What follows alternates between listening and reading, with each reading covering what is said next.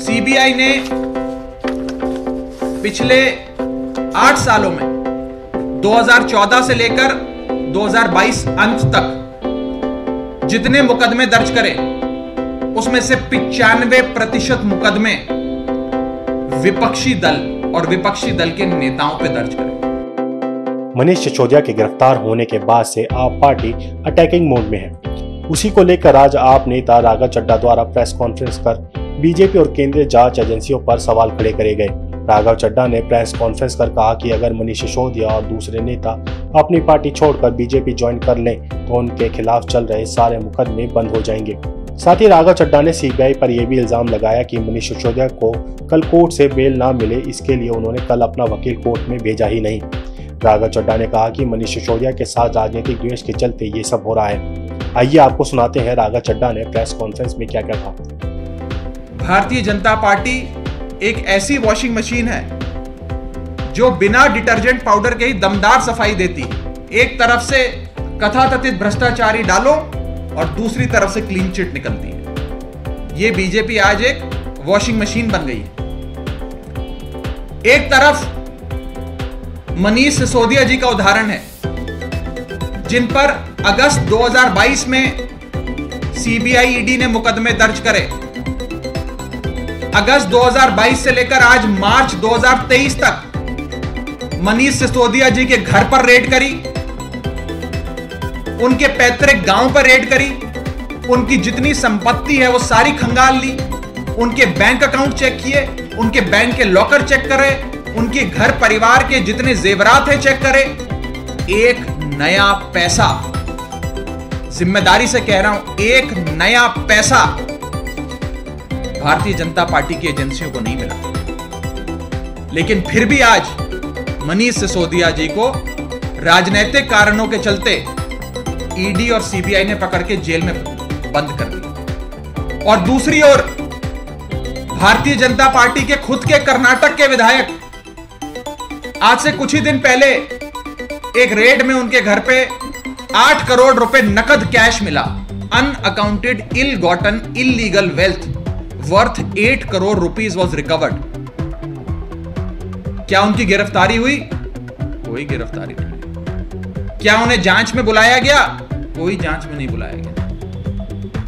और कोर्ट से इन एजेंसियों ने अपने ही बीजेपी के एमएलए को बेल तक दिलवा दी एंटीसिपेटरी बेल दिलवा दी। क्रिमिनल जस्टिस सिस्टम का एक लौता ऐसा उदाहरण है कि कैश की रिकवरी होने के बाद रंगे हाथों पकड़े जाने के बाद आठ करोड़ रुपए की नकद राशि के साथ पकड़े जाने के बाद उस इंसान को जेल में नहीं बंद किया जाता। उसे ईडी और सीबीआई कोर्ट से बेल दिलवाती है।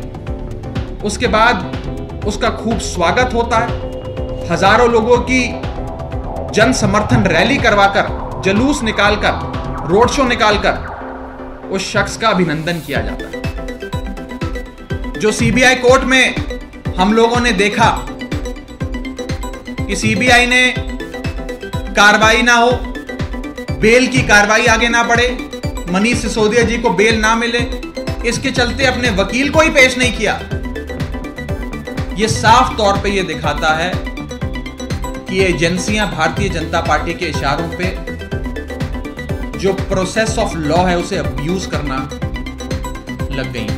This is the classic text book example of abuse of process of law कि बेल ना मिले, इसके लिए वकील ही पेश ना करो। वकील पेश होगा नहीं, बहस होगी नहीं, कोर्ट कार्रवाई करेगा नहीं, तारीख पे तारीख पड़ेगी, और जो शख्स है जिसे जेल में बंद किया है, वो जेल में सड़ता रहेगा सीबीआई ने पिछले आठ सालों में 2014 से लेकर 2022 अंत तक जितने मुकदमे दर्ज करें, उसमें से पिचानवे प्रतिशत मुकदमे विपक्षी दल और विपक्षी दल के नेताओं पर दर्ज करें। 95 five percent of the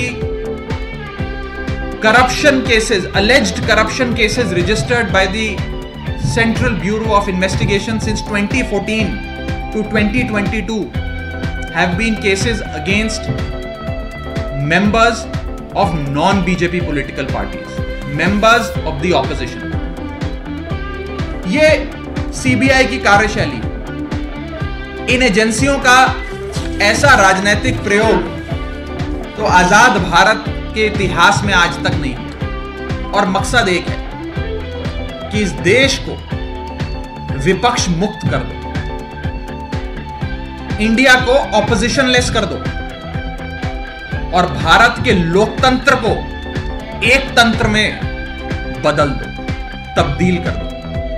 Convert democracy into autocracy and make India an opposition less country एक ही लक्ष्य है कि भारत देश में एक ही पार्टी हो और एक ही नेता और कोई गैर भाजपा पार्टी या गैर भाजपा नेता इस देश में सर उठाने की भी हिम्मत ना करे एक एक नेता को पकड़ पकड़ के जेल में डालो। जेल में डालो, पार्टियों की दुकानों पर, पार्टियों की राजनीतिक जो जो कार्यशैली है, जो उनकी इलेक्शन लड़ने की क्षमताएँ हैं, जैसे पार्टी चलती है, उस सबको खत्म करो, बर्बाद करो और एक ही पार्टी इस देश में बचे, भारतीय जनता पार्टी। ये लोकतंत्र को एक तंत्र में बदलने की तब्दील करने की भारतीय जनता पार्टी की कोशिश चल रही। है जहाँ आप पार्टी उनके नेताओं पर हो रही कार्रवाई को लेकर सीबीआई और ईडी पर निशाना साध रहे हैं। वहीं बिहार में भी जेडीयू और आरजेडी भी सीबीआई और ईडी को पालतू तोता कहकर केंद्रीय जाँच एजेंसियों की जगह बीजेपी की जाँच एजेंसियाँ बोल रही हैं। आप इस खबर के बारे में क्या सोचते हैं हमें कमेंट सेक्शन में बताएँ। साथ ही ब्रह्मास्त्र न्यूज़ को सब्सक्राइब और शेयर भी ज़रूर करें।